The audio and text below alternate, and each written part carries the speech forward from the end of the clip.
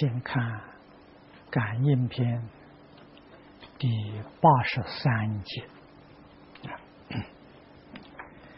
见他是变，便说他过；见他体相不拘而笑之。见他才能可称而疑之。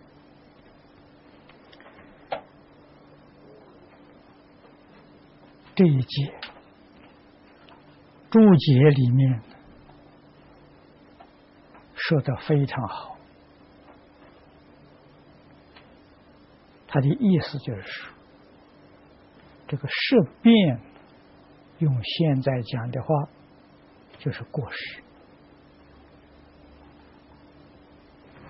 啊，或者呢，是在他不得志的时候，啊，遭遇到困境的时候，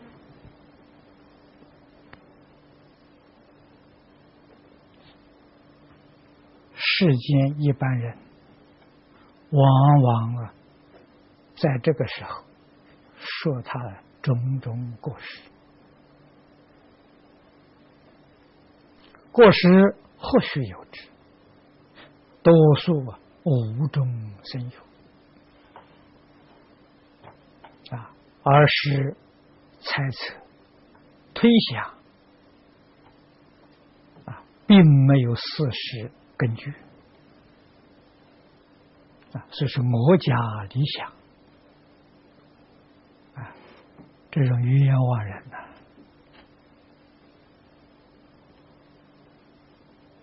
啊，柱子里面呢，有几句话说的真是实话。天下之事，本来败义而成难，所以是好事多磨啊，成就非常不容易。我们仔细观察这个社会。甚至于自己细心想一想一生的遭遇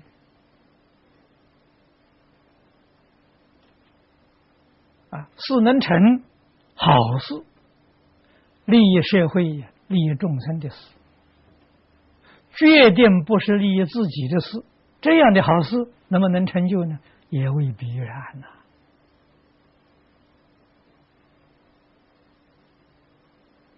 啊，我们知道。为什么？这要众生的福报。我们自己发心为众生服务，为众生做一点好事，众生有没有福报？啊，没有福报，我们的发心，我们的行为，很容易被人破坏。现前如是，过去也如是。我们在历史上看，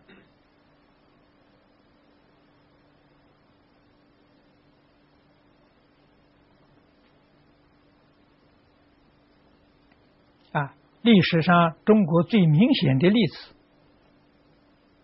南宋时候的岳飞尽忠报国，确实是。为国家、为民族、为人民，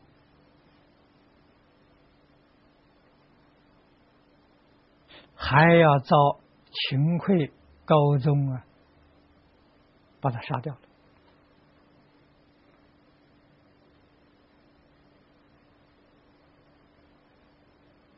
啊！可是，在历史上，后人永远纪念他了。当时他不得志啊，这是最明显的好事多磨。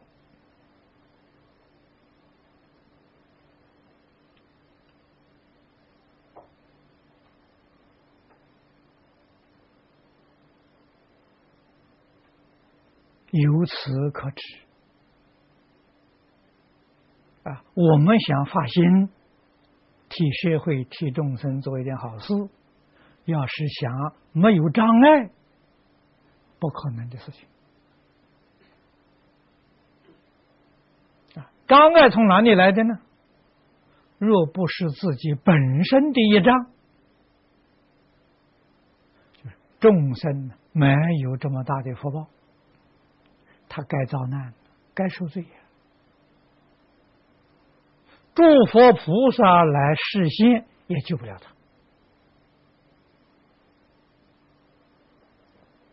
他。啊，类似这个事情，古今中外是太多太多了。啊，至死人人，可以说是任何一个时代，任何一个地区。皆有啊，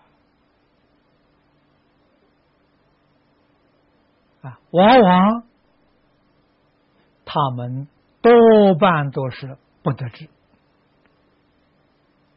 啊，不得志这些人呢，隐居在山林啊。你看中国历史这二十五史里面啊，每一部都有隐逸志。啊，这一部分里面都记载隐居、有道德、有才能的这些人，他们不是不愿意出来替社会国家做事，没有机会。啊，才出头就被别人压抑了，障缘太多。不得已退居山林，啊，甚至于有些出家了，有些修道了，啊，在中国佛门里面，啊，道观里面，啊，社会一般人常说啊，这个里头啊，卧虎藏龙啊，真的，那不是假的，啊，但是这些人真的有学问，有道德。他们不得志，他也能安分守己啊！他懂得修心养性，将自己的精神生活不断向上提升啊！他不会为非作歹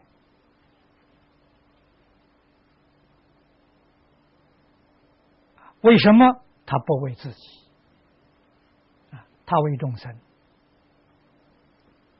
有缘，就兼善天下了；没有缘，那就独善其身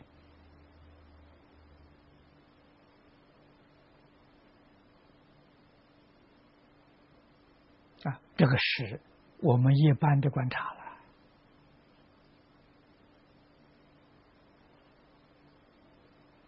就我们这一生。五十年来，我们的遭遇，我们的经验，又何尝不如是？啊，跟我时间久一点的同学都知道，我们要没有遇到韩馆长，我们这一生什么都不能谈了。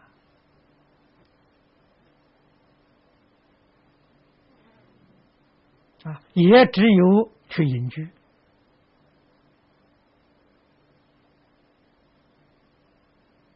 啊，自己修个人的，对于社会，对于佛教，就不可能有贡献。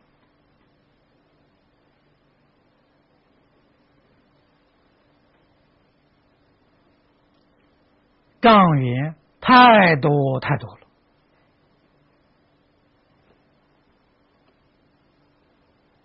啊！所以遇到一个得力的护法，啊韩馆长往生之后了，我们的障碍又来了。如果没有继续遇到李牧原居士的护持，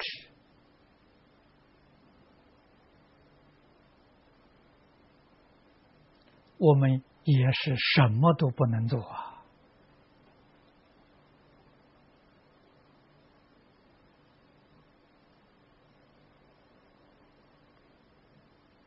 啊，所以我常讲啊。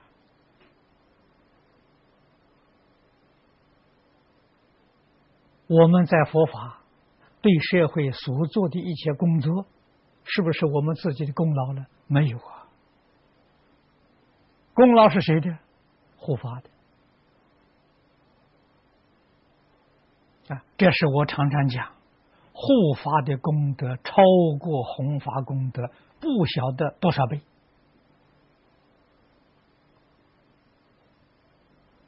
啊！弘法的法门龙象。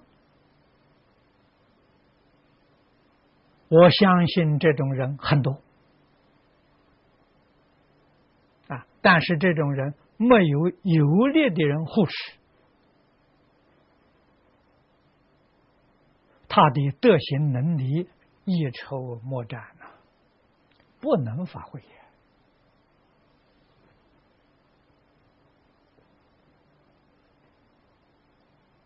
啊！我深深的相信。比我能力强的，比我智慧高的多，可惜没有遇到得力护持的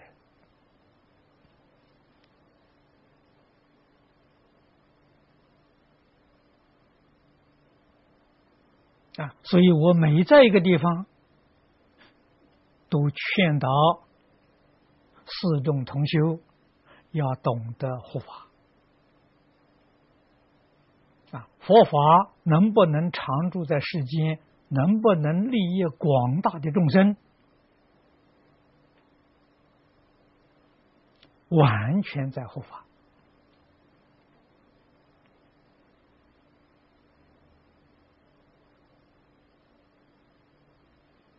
啊！弘法的人再有能力，再有德行。再有学问，再有智慧，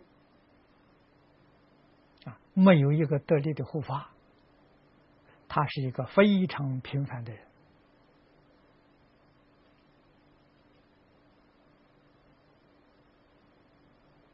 默默无闻的，没有人知道他。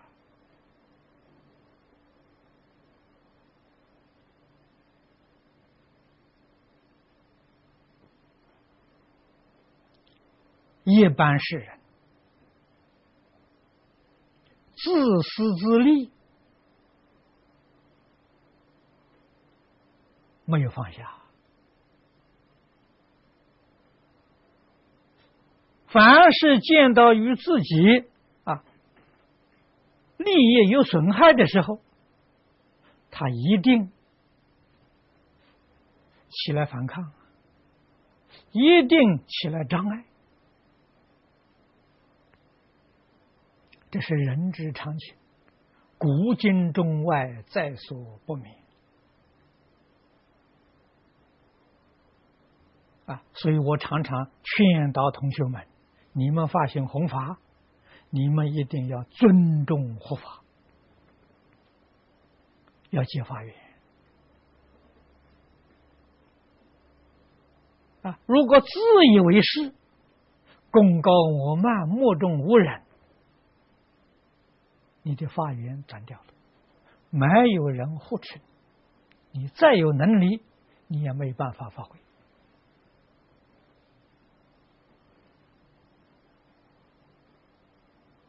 啊！所以我常常做比喻，像一个学校，护法是校长啊，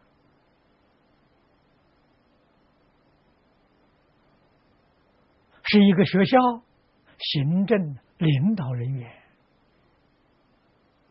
弘法的人是教员，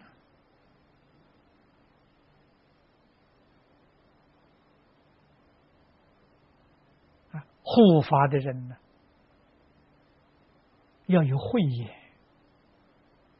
能够认识一个好的教师，聘请他来帮助你弘法利生。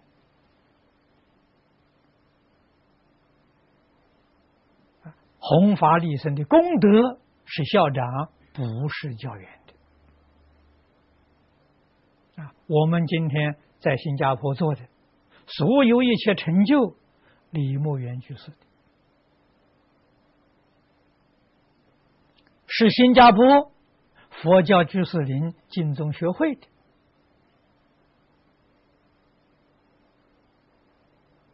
不属于我们的。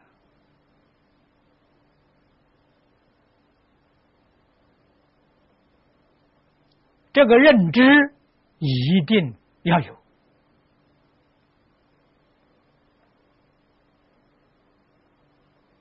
啊！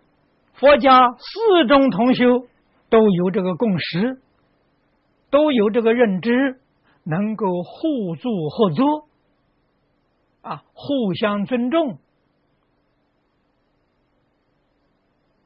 正法就能够久住世间。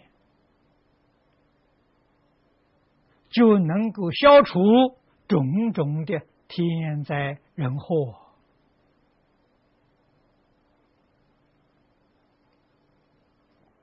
这个事情难，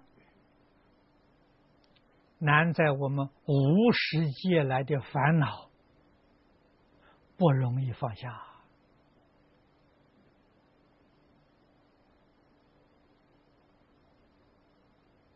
啊！虽然学佛了。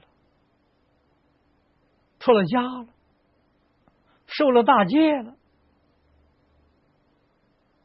或者是讲经说法当教员，或者是做住持、监院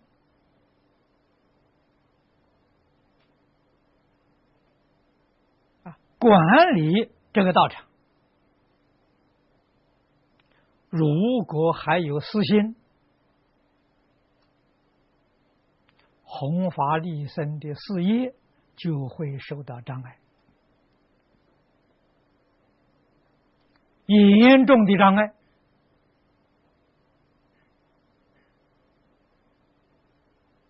这是我们要反省的。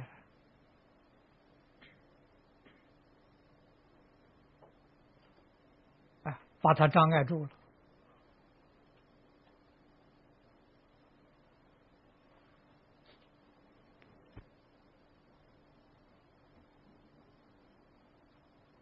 障碍之人，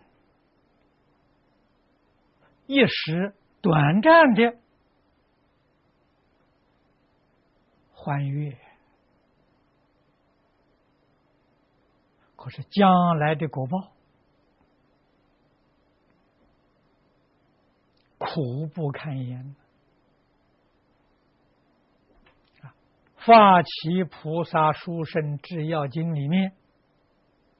就讲的很清楚、很明白啊！那一部经我们过去讲过三遍。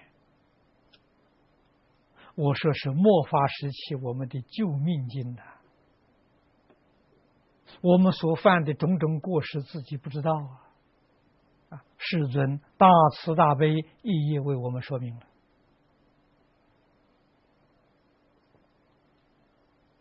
这一部经，真正是有心人，至少每半个月要念一遍。经文不长，把它当做戒律去念，常常反省呢。我们有没有犯这个过失？有没有这个恶念？啊，有没有做这种恶行？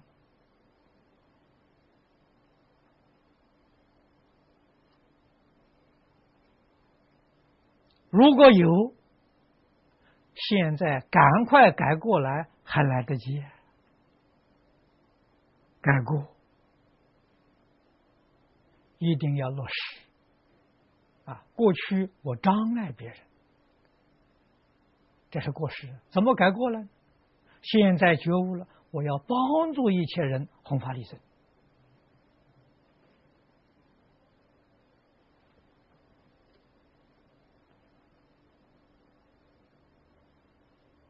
啊，过去见他才能可称，总是极力贬义他们。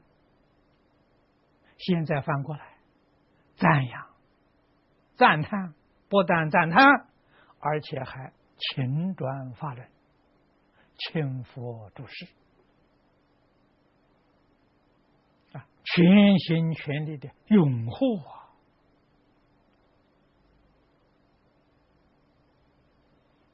这个叫做真忏悔，这是真的回头了。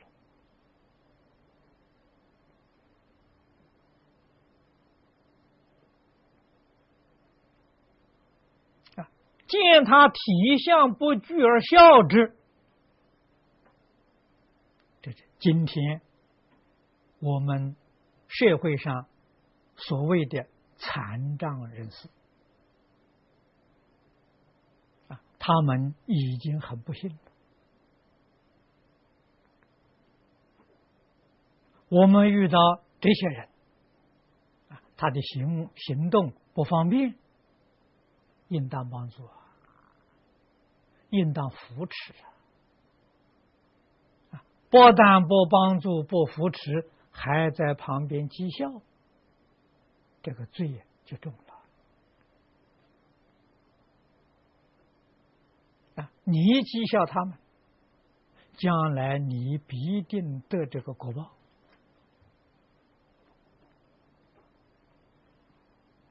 啊，你能够保全你这一生，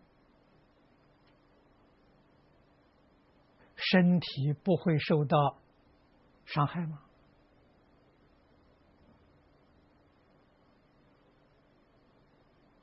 夜因果报丝毫不爽啊！我们一定要懂这个道理啊！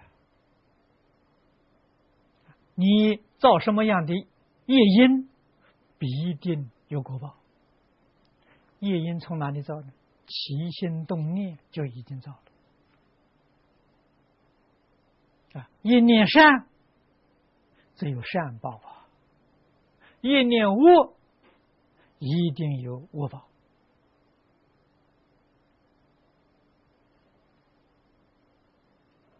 啊，善恶的意念。表现在行为上，果报就更明显、更快速。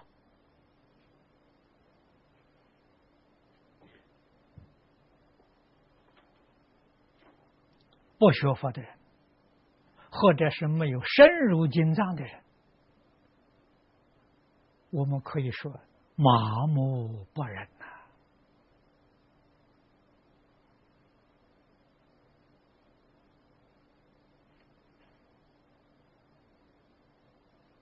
不知道反省，不知道忏悔，不知道改过自新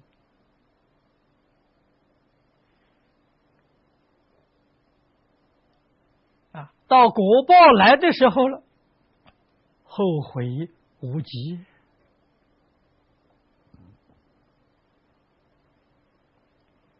所以我们要怎么记住？自古以来。啊，一切好事易败难成，逆多顺少啊！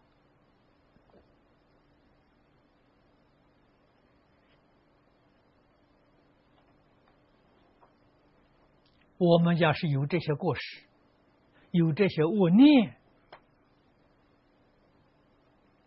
已经是不近人情了啊！不近人情，说个不好听的话，他就不是人了啊！不是人，来生到哪里去呢？三恶道去了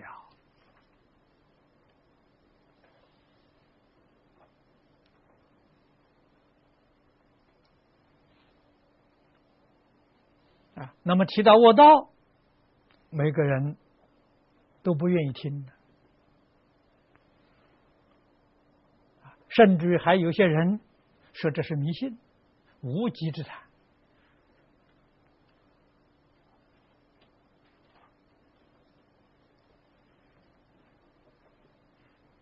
啊，那么我说这些人是麻木不仁，为什么呢？业因果报这些事情，不仅是古书上记载的多，现前就有啊，就在面前。居士林这个小道场，夜莺国报。几乎每个月都有，每个星期都有。只要你冷静细心观察，这不是书上记载的，不是传说的，在你面前，你亲眼所见，你要不相信，那不叫麻木不仁吗？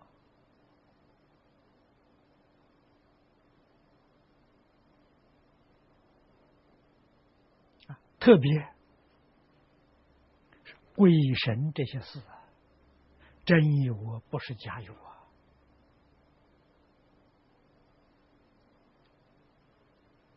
啊，太上给我们讲啊，举头三尺有神明啊，神明在检查。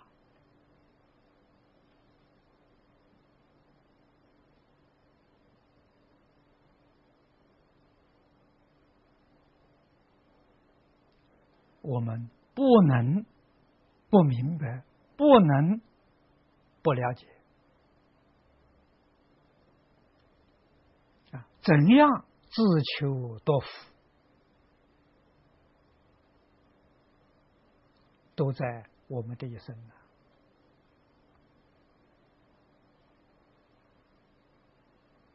啊，真觉悟，真回头，放弃自己的成见。随顺佛陀的教诲，这种人，这才是真正有智慧、有福德啊，前途一片光明啊！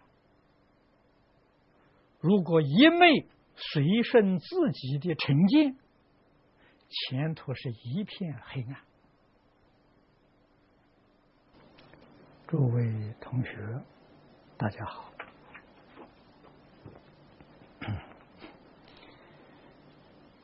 这几天，我因为有一些啊各个宗教的应酬啊，另外一些事物啊，我们将早晨讲经停了五天。那么今天呢，我们恢复到正常了啊，请看。感应篇第八十四节，这也有两句话：买骨压人，用药杀树。这在整个大段落里面呢，这是第十一个大段，啊，无因。啊，换一句话说，没有原因。无缘无故啊造作的恶业，买骨亚人，在新加坡这个地区，我们很少听过。我在少年时代，啊，抗战期间，在湖南。在贵州啊，在读书的时候，这些事情啊，常常听到。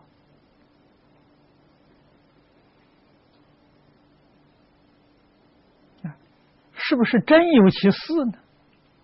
我没有见过，但是我听说的就太多太多了。啊，可能有这些事情。这些事情呢，在从前。帝王专制的时代是犯法的行为，啊，国家法律所不容许的。那么古听说有许多许多种，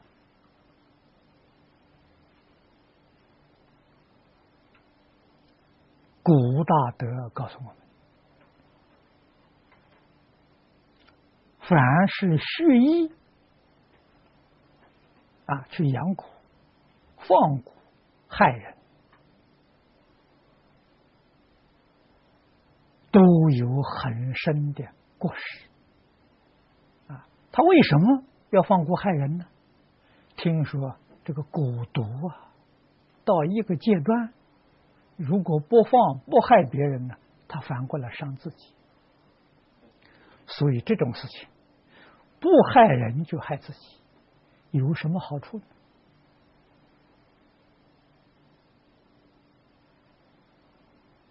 啊，我曾经听说养蛊的人家了，那个家里头非常干净，非常整齐，啊，真的像一尘不染一样。啊，蛊毒有很多很多种，大概都是一些毒蛇一类的，啊，毒蛇。哎，有的像这个蜘蛛啊、蝎子啊，这些都是有道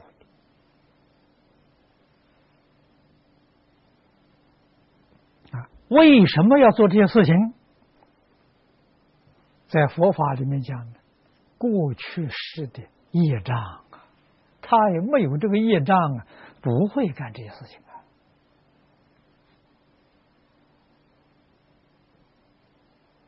啊，过去是身中业障是因，现前的呢是缘。年轻人喜欢稀奇古怪、好奇呀，啊，可是你走进去之后，出来就很困难，啊，那么这个是也是没有啊善有教导他，啊，做一些。损人不利己的事情。那么这一句我们作何解释呢？广义的讲，凡是损人不利己的事，都在这一句范围之内。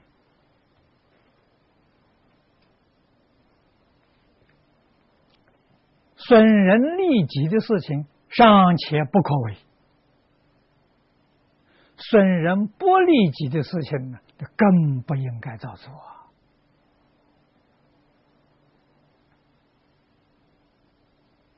我们对一切人、一切事、一切物，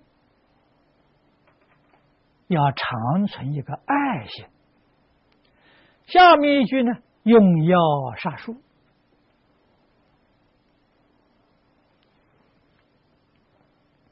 这是。伤慈悲心呐，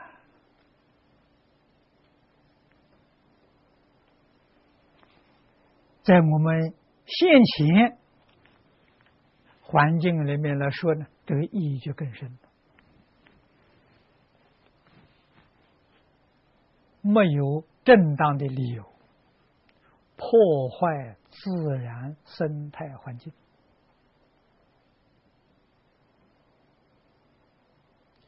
不懂得人与自然环境的密切关系，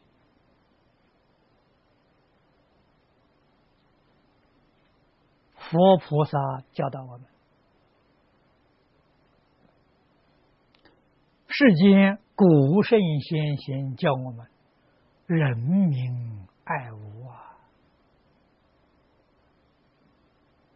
换一句话说，圣贤的教育无他，启发我们爱心而已，培养我们爱心而已。啊，今天我们接触的宗教很多很多，这许许多多的宗教。我们发现有个共同点，共同点是什么呢？爱的教育啊，佛家讲慈悲，一片慈悲，一切慈悲呀。啊，你看天主教、犹太教、啊基督教，这个算是一个系统的。神爱世人，上帝爱世人。啊，印度教、婆罗门教、大梵天也是爱世人。综合所有的这个宗教教学、圣贤教育，就是这么一句话了。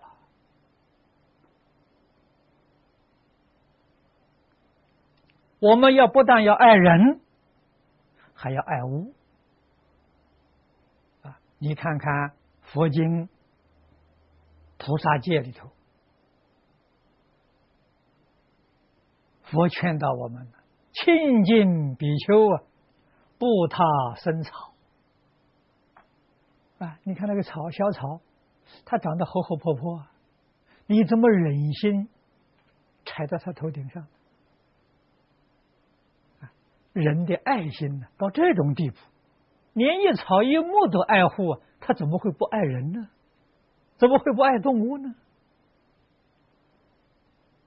怎么会伤害人呢？人生活在爱的世界里面，这是真正幸福啊！啊，前几天啊，我们这里有一些同修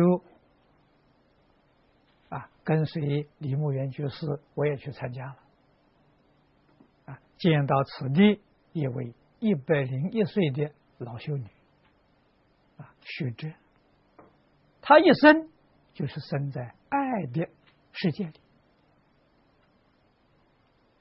幸福美满了。他给我们讲，他是一百零一岁的年轻人，那真年轻啊！我们看他的身体，也不过就四五十岁的人样，怎么说也不能相信啊！拿出身份证来给我们看，啊，真的不是假的，他是一九零零年出生的，今年两千年，啊，照中国算法，一百零一岁，他是广东潮州人，啊，所以他懂广东话，懂潮州话。啊，懂英语，啊，也懂普通话，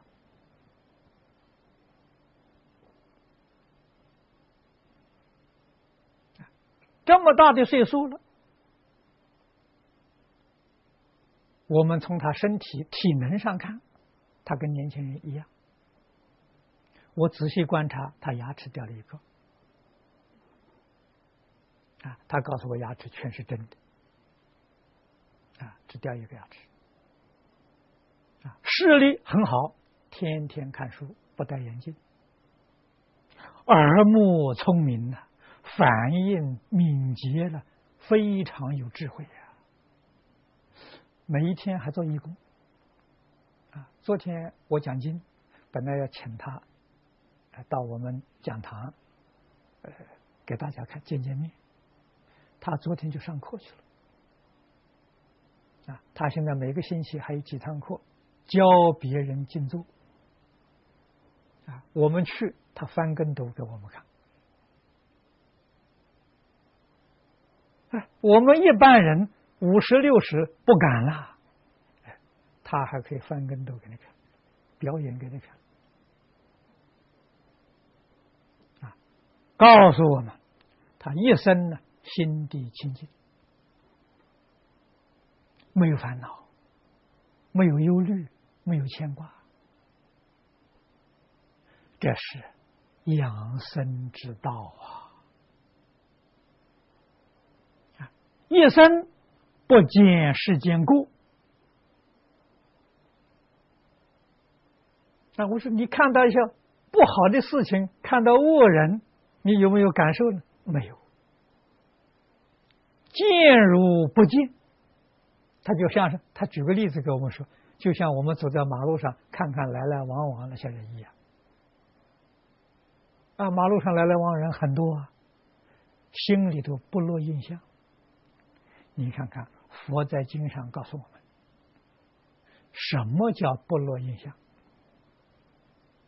不落印象呢，就是转识成智啊。我们凡夫啊，是用识啊。第六识是分别，第七识执着，第八识落印象。啊，《楞严经》教光法师在注解里面教我们：学时用根。啊，舍识我们不用第六识，也就是说，我们不分别。不分别，那么你用的是什么妙观察智？我不用第七识，第七识执着，不执着，不执着，你就用平等性质啊！不用阿赖耶识，阿赖耶识落印象，那它不落印象，不落印象啊，就是大圆镜智。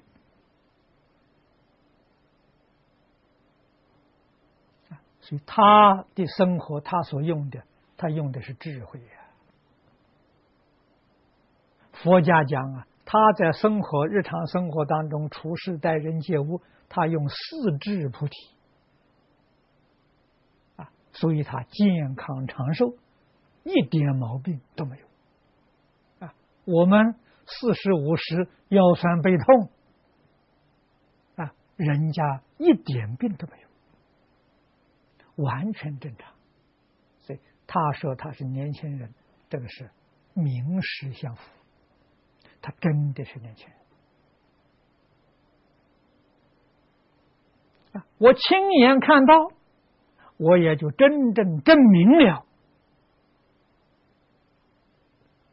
过去李老师跟我们说，中国医学的。根本典籍《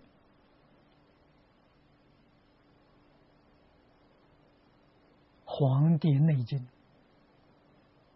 灵枢经》里面所讲的人的寿命，正常应当要活两百岁。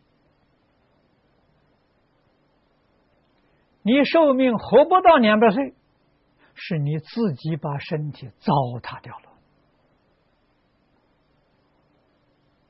啊，我们同学当中问的，哎，你会不会生生气啊？一生没有生，没有发过脾气，没有生过气。啊，他告诉我们，一分钟的发怒啊，一分钟啊，要三天才能恢复正常。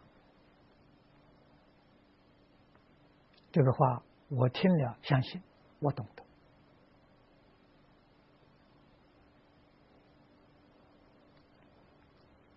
佛家、道家都讲求养生之道啊。什么是最健康呢？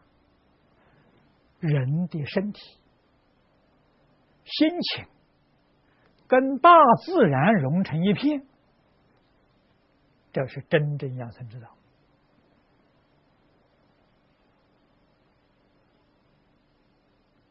啊！完全是合乎于自然的。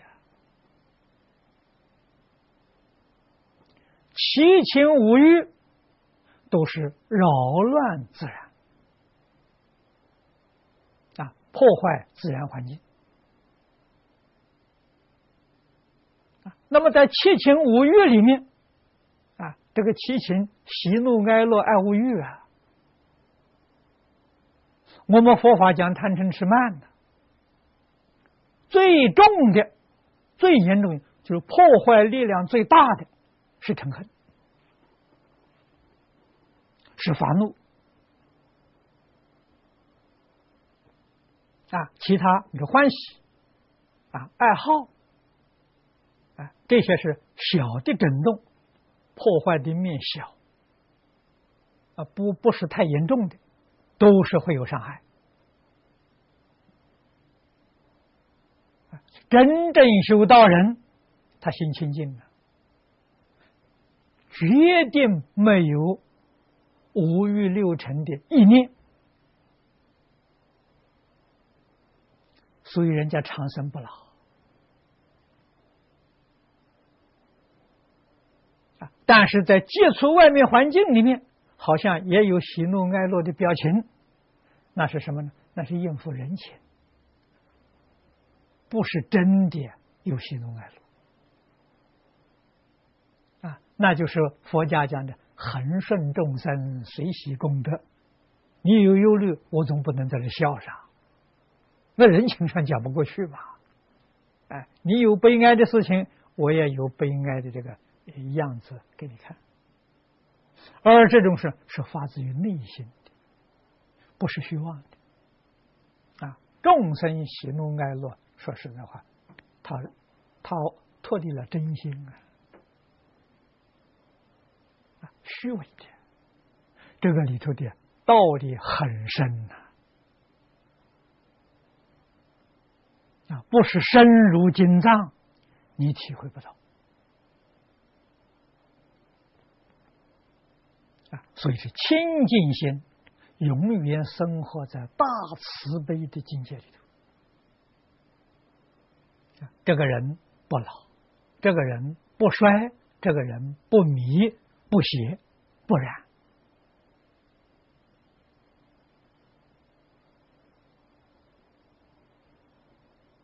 佛法讲究竟圆满，殊胜功德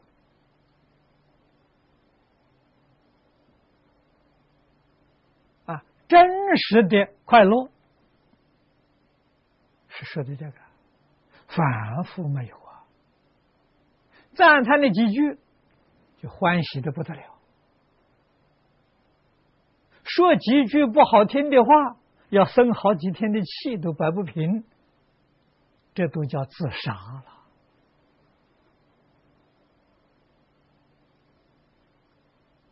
于自于他都没有利益啊，所以。佛在经上常讲，这个世间人可怜悯者，真的可怜呐！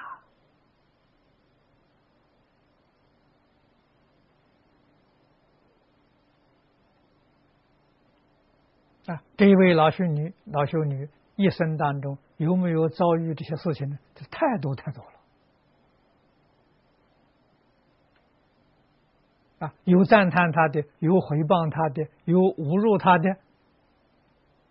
不管你赞叹也好，侮辱也好，他无动于衷啊，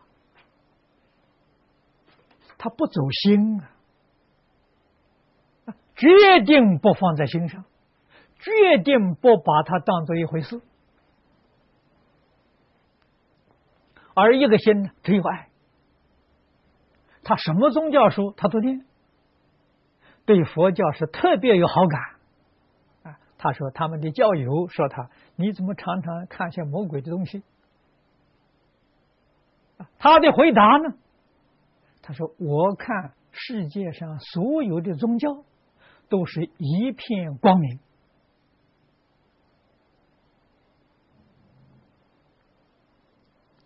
华严经》上说的：“圆人说法，无法不圆呐。”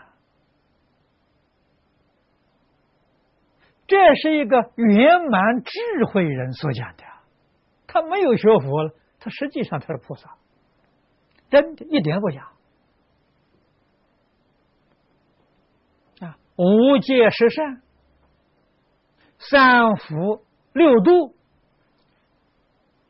要我给他打分数啊，都可以打满分啊！自己生活非常简单。一天吃一餐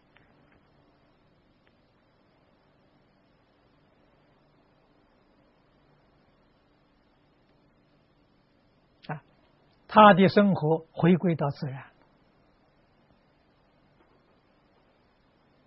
啊。我们也有吃一餐的人啊，这个菜里面还要放一些油盐酱醋啊，还有一些调味呀，它通通都没有。啊，只有生菜，顶多生菜用水把它煮熟，什么佐料都没有。啊，完全回归自然。啊，衣服捡别人破旧的衣服穿。啊，不是没有钱的。供养他的人好多，啊。他说了：“别人给我这么多钱，是要我替他做好事，替他修福的。啊，这个钱自己不能用，衣服捡破旧的。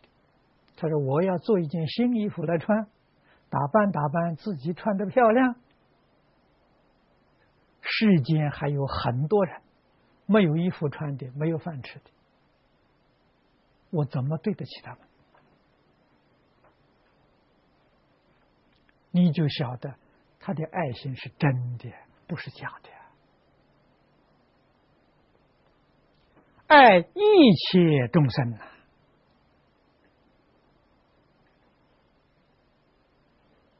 我们天天讲。真诚、清净、平等、正觉、慈悲，我们没做到，他完全做到。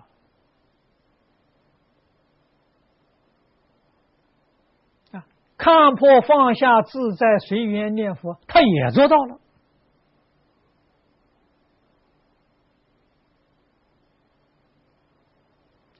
学佛的好处，学佛的利益，从他身上。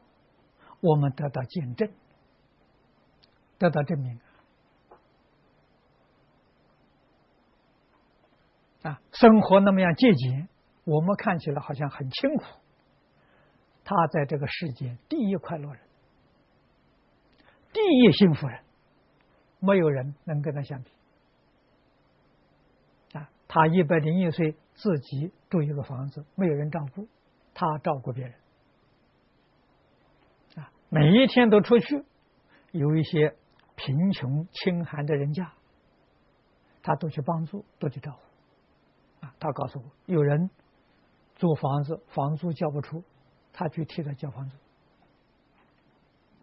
啊，有人家里面水电费没有没有没有钱交，他去帮人家交水电费。啊，没有得吃的，他就送米。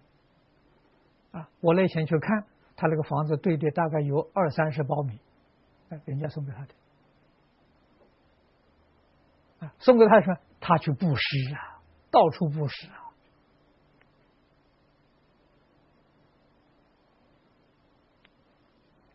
这个是人民爱物，好榜样啊，修行正果。我们亲眼看到了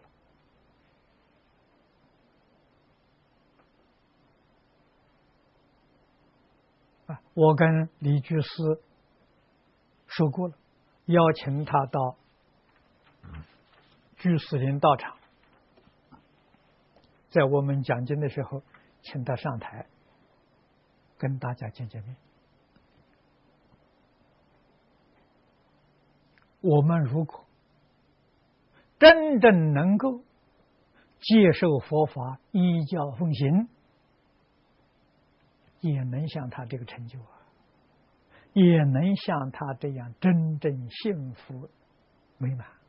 他一生建了十几个养老院，一生的工作照顾老人、照顾病人啊，在佛法里面讲无为不施。得的果报是健康长寿啊，所以我们看他财布施、法布施、无为布施，他是以无为布施为主啊，财布施、法布施的是是附带的，总而布施一即十三，三即十一啊，他以这个为主啊，所以这个果报。展现在我们面前，我们对于佛陀的教诲深信不疑啊，应当要努力依教奉行，拓开心量啊，爱护众生。所以他说那天我们要问你到底信什么宗教？他说我信爱的宗教。这个话说的有道理啊，爱的宗教把所有宗教都包括了，一个宗教都不漏。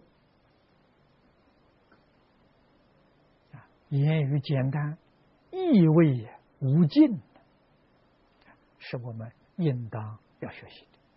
好，今天时间到了，我们就讲这两句。